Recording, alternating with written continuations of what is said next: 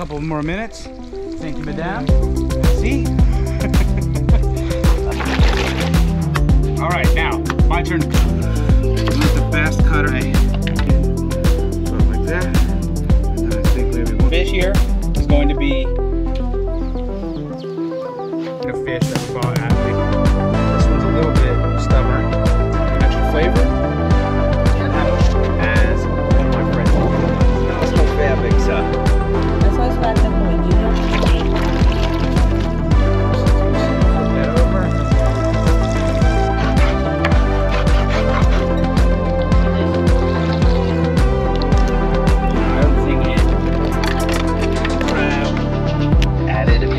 chilies to add a little heat.